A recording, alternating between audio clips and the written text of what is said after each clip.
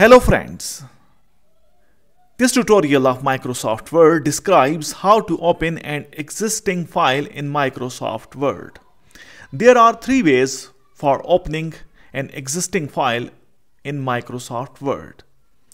Here in this video, I am going to open an existing file whose name is family UID.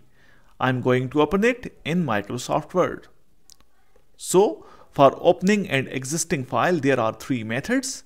In first method, you will click on File, then click on Open, then click on My Computer or this PC, and then you should know the location of your file is double after double clicking on this PC as my file is located on desktop I will click on desktop then I will search for my desired file and here I have found my file. I will double click on it and the file has been opened. Now I'm closing this file. In second method you will use quick access toolbar and here you can see the option of open click on it again this PC double click on this PC then as my file is located on desktop I will click on desktop and then I will double click on my desired file.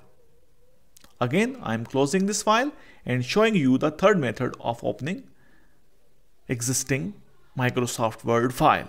In third method, you will just use the shortcut key which is Control plus O.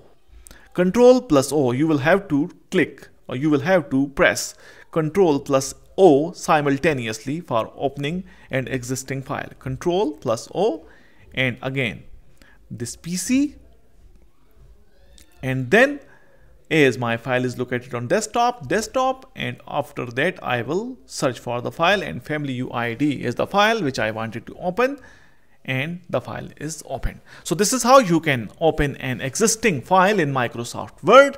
If this video helps you in any way, please subscribe my channel and hit the like button. Thanks for watching. Thanks for your time. Goodbye.